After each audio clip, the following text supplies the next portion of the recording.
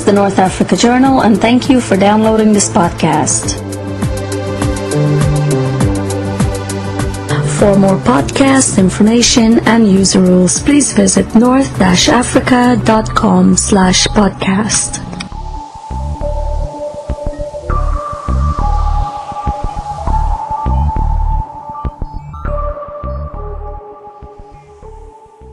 Wider look now at the unrest in the Middle East, not only in Bahrain, but in other nations such as Yemen and Libya. We're joined by Alessandro Bruno. He is the deputy editor of the North Africa Journal. And Alessandro, we just touched on the Shia, the Sunni makeup in Bahrain. Why is that such a key and critical factor? The government says this is the reason for the crackdown. They don't want division or sectarian violence. Can you explain the significance? Well, uh, you remember Iraq? Uh, Iraq was also Shia Sunni, mostly mm-hmm. Shia, and Bahrain is a sort of mini Iraq with a benevolent uh, uh, dictatorial regime. Um, the regime in, in Bahrain is uh, one of the better ones in the Middle East. It's not, it doesn't have uh, the, the, the, bad record of the others, and um, it's actually very internationally. Uh, um, important for even for tourism. There is a Grand Prix. The first Grand Prix, uh, you know, the Formula One Grand Prix of the season is in Bahrain. They'll probably have to move that. Um, but um, the Shia divisions, most the protests really are a bit different than those in Cairo uh, and those in uh, Tunis. Um, it's I think it's more sectarian than they're letting uh, than the, the, the, report I heard before.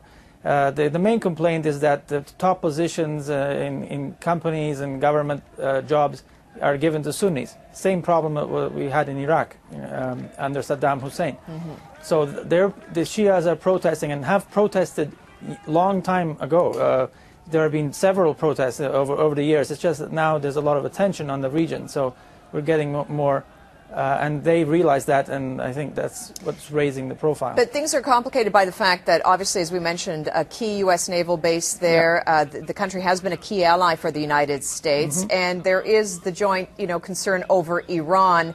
What is the significance? I mean, Iran has a large Shia uh, population as well, so the concern for the government of Bahrain is growing influence from Iran in their nation, right? Precisely. Well. Um, uh, in 1979, after the Iranian Revolution, one of the countries that was closest to falling to that uh, same uh, you know, revolution, uh, when Iran threatened to export it, was Bahrain. So Bahrain is um, you know, at the key of this dispute, but there's a lot of concern in the Persian Gulf about Iran's influence over uh, Shia minorities in, that exist in various countries of the Gulf. Um, I would like to mention the, the, the most uh, interesting one here for uh, strategic uh, reasons mm-hmm. is Saudi Arabia. Saudi Arabia has an important Shiite uh, minority with a lot of grievances against the, the government, uh, which uh, mostly concentrated in the north eastern part of the country, very close to Bahrain, and also very close to some of Saudi's main oil fields.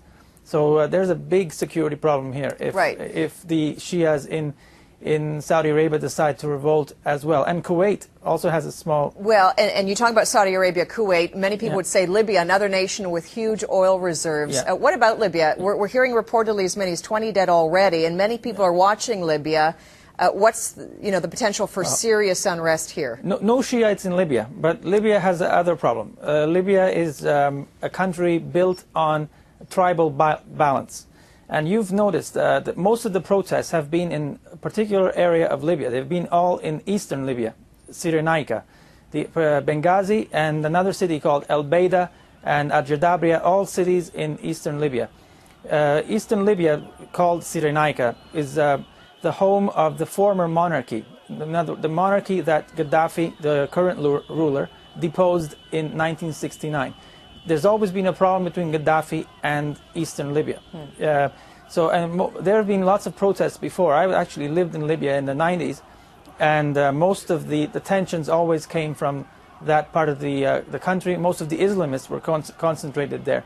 So I'm not surprised that the protests are uh, really uh, heating up in, in that city. Um, so, Alessandro, let me ask you quickly because you and I were talking, you know, in the past couple of weeks. Okay, mm-hmm. such a major breakthrough, many people would say, with a change in leadership in Egypt. Is that a harbinger for what will happen in other Mideast nations? Uh, are you any closer to an answer on that? Because we're seeing real government crackdown in other countries. We're not seeing uh, a regime that's going to just give up the keys, so to speak, here. No. Um, see, Egypt had a particular set of circumstances. Uh, in Egypt, uh, there some movements in civil society started to move against Mubarak already six years ago, with the uh, uh, uh one of, a couple of movements, and then there was the, the, the jailed opposition leader Ayman al-Nur, and then there was the rumors. Um, there was the, the, the, rumors over Mubarak's health. So there was a lot of leverage already building. And then the final blow, I think, was the elections in November and the fact that the army itself lost confidence in Mubarak because Mubarak insisted on wanting to put his son to replace him as a presidential candidate for the NDP uh, in September. So we had a, a you know, a, a internal opposition as well. It's going to be much more difficult in other countries to achieve that effect, particularly, for example, Libya. It's very loose uh, association. There's no real. The government doesn't have that. It's not really a government. Uh, it's a. It's ruled. The the main uh, glue there is tribal balance. Uh, Gaddafi heads one, the second largest tribe. There's a large, uh, uh, another tribe called the Warfalla, and then there are the um, the ones in, in the uh, eastern part of the country. Mm-hmm. So I don't see that the, the, breakdown there is more difficult. And Gaddafi has a lot of money to mm-hmm. pay off tribal leaders to put down the revolts if he wants right, and many people have been saying he has very good and close association with those tribal leaders as well. Yeah. So, as you mentioned, in entirely different scenarios in many cases in these nations. Yeah. We'll continue to watch it. Alessandro Bruno with the North Africa Journal. Good to see you again. Thank, Thank you. you.